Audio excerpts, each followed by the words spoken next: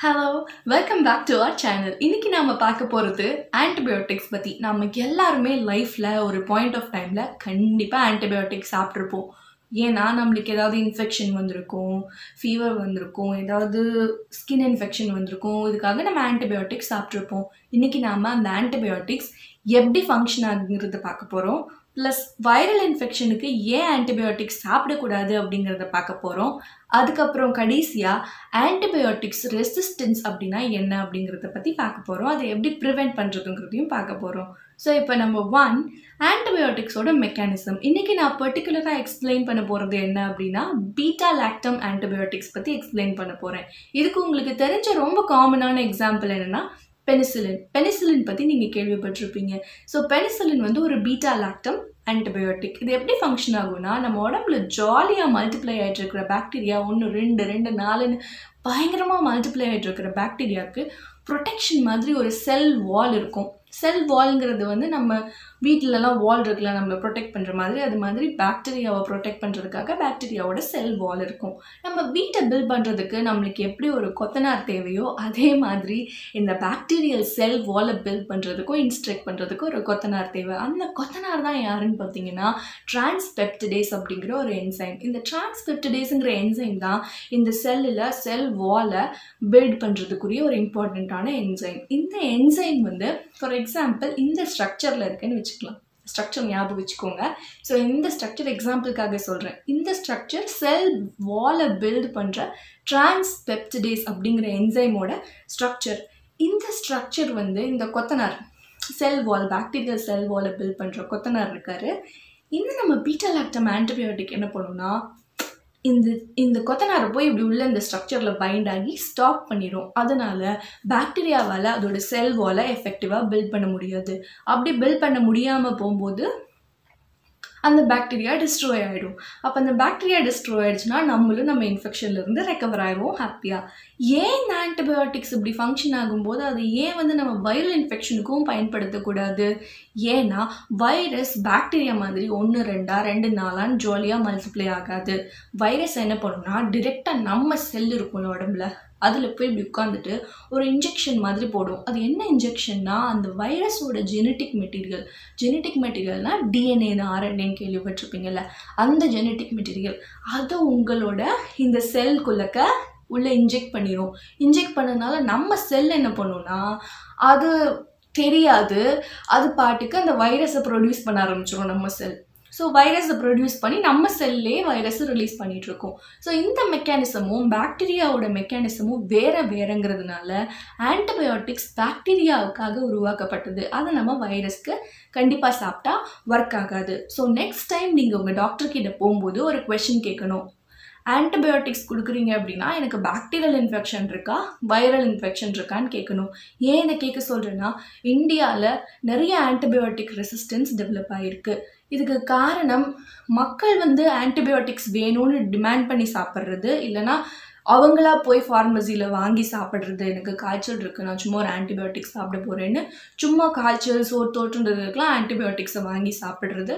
இன்னொரு காரணம் டாக்டர்ஸ்க்கு கிடைக்கிற இன்சென்டிவ்ஸ்க்காக டாக்டர்ஸே ஓவராக ஆன்டிபயோட்டிக்ஸை தேவையில்லாது ப்ரிஸ்கிரைப் பண்ணுறது இந்த மாதிரியான காரணங்கள்னால தான் நம்மளுக்கு ஆன்டிபயோட்டிக் ரெசிஸ்டன்ஸ் வந்து இந்தியாவில் ரொம்ப ஜாஸ்தியாக டெவலப் ஆகிட்டுருக்கு ஸோ நெக்ஸ்ட் டைம் நீங்கள் உங்கள் டாக்டர்கிட்ட போகும்போது கண்டிப்பாக கேட்டு தெரிஞ்சுக்கோங்க. உங்களுக்கு பாக்டீரியல் இன்ஃபெக்ஷனா வைரல் இன்ஃபெக்ஷனானு பாக்டீரியல் இன்ஃபெக்ஷனாக மட்டும் நீங்கள் ஆன்டிபயோட்டிக்ஸ் எடுத்துக்கோங்க. இல்லைனா ஆன்டிபயோட்டிக்ஸ் சாப்பிடாதீங்க.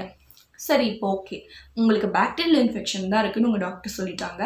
ஆன்டிபயோட்டிக்ஸ் ப்ரிஸ்கிரைப் பண்ணியிருக்காங்க சரி ஃபார் எக்ஸாம்பிளுக்கு சொல்கிறேன் ஒரு ஃபைவ் ஹண்ட்ரட் எம்ஜி ஆன்டிபயோட்டிக் சாப்பிடுங்க. செவன் டேஸ்க்கு சாப்பிடுங்கன்னு உங்கள் டாக்டர் சொல்லியிருக்காங்க ஆனால் நீங்கள் த்ரீ டேஸ் தான் சாப்பிட்ருக்கீங்கன்னு வச்சுக்குவோம்.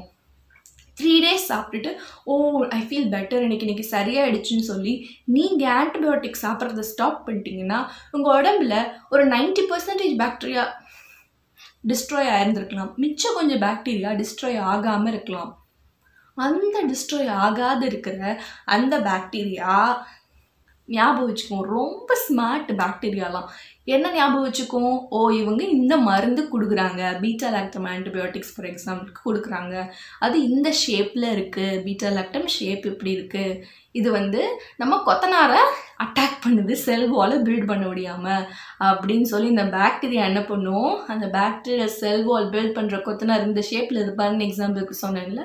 அந்த ஷேப்பை இந்த மிச்சம் இருக்கிற பாக்டீரியா அடுத்து மல்டிப்ளை போது இப்படி மாற்றிடும் இப்படி மாற்றிடுச்சுன்னா நம்ம கொடுக்குற அந்த பெனிசிலின் இருக்கிற பீட்டா லாக்டன் அதால் பைண்ட் ஆக முடியாது.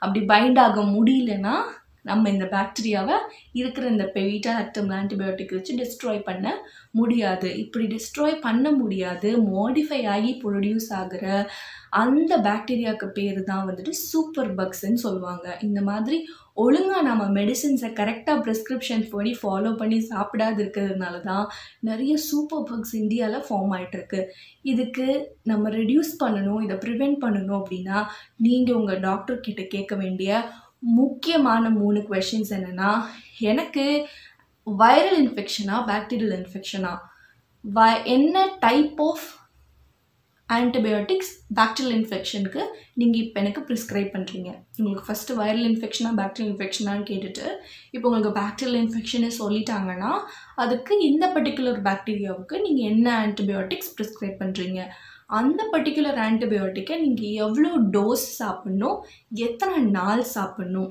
இந்த மூணு விஷயத்தையும் நீங்கள் கேட்டு தெரிஞ்சுக்கிட்டு டாக்டர் சொல்கிற மாதிரி கரெக்டாக ஃபாலோ பண்ணுங்கள் பேக்டீரியல் இன்ஃபெக்ஷனாக இருந்தால் மட்டும்தான் நீங்கள் ஆன்டிபயோட்டிக்ஸ் யூஸ் பண்ணணும். அதுவும் கரெக்டான டைப் ஆஃப் ஆன்டிபயோட்டிக்காக யூஸ் பண்ணணும். கரெக்டான டோஸ் அண்ட் டைம் இது எல்லாத்தையும் நீங்கள் கரெக்டாக ஃபாலோ பண்ணிங்கன்னா நம்ம இந்தியா மாதிரியான ஒரு டெவலப்பிங் கண்ட்ரீஸில் இந்த ஆன்டிபயோட்டிக் ரெசிஸ்டன்ஸ் டெவலப் ஆகிறது நம்ம ஸ்டாப் பண்ண முடியும்.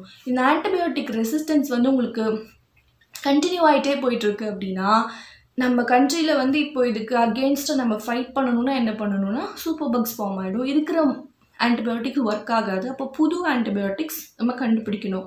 அப்போ புதுசாக ஒன்று கண்டுபிடிக்கணும்னா அதுக்கு ரிசர்ச் பண்ணணும். புதுசாக ரிசர்ச் பண்ணணும்னா அதுக்கு மணி தேவை. ஸோ நம்மக்கிட்ட இருக்கிற ரிசோர்ஸஸை நம்ம தேவையில்லாத வேஸ்ட் பண்ணுறதுக்கு ஈடாயிடும். இந்த மாதிரி ஆன்டிபயோட்டிக் ரெசிஸ்டன்ஸை நம்ம தேவையில்லாத க்ரியேட் பண்ணிட்டு இருந்தோம்னா. ஸோ உங்களுக்கு இந்த ஆன்டிபயோட்டிக் ரெசிஸ்டன்ஸ் பற்றி தெளிவாக புரிஞ்சிருக்கும்னு நினைக்கிறேன். இந்த வீடியோ உங்களுக்கு தெளிவாக இருந்தது அப்படின்னா இந்த ஆன்டிபயோட்டிக் ரெசிஸ்டன்ஸ் பற்றி உங்கள் ஃப்ரெண்ட்ஸ்கிட்டையும் ஷேர் பண்ணிக்கோங்க.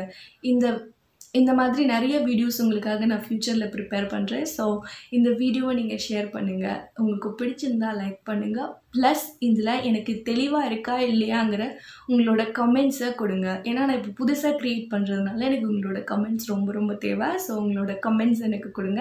அதை பேஸ் பண்ணி நான் இன்னும் தெளிவாக எப்படி கண்டென்ட் க்ரியேட் பண்ணுறதுன்னு ஃப்யூச்சரில் இன்னும் பெட்டராக கண்டென்ட் க்ரியேட் பண்ண ட்ரை பண்ணுவேன். ஸோ நெக்ஸ்ட் வீடியோவில் உங்களை நான் பார்க்குறேன். Until then Bye from Kanmani.